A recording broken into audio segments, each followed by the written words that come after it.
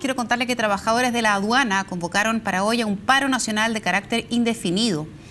La Asociación de Funcionarios informó que la iniciativa es por la firma de un convenio de cooperación entre la Dirección de Aduana, Carabineros, el Ministerio del Interior y dirigentes de la asociación.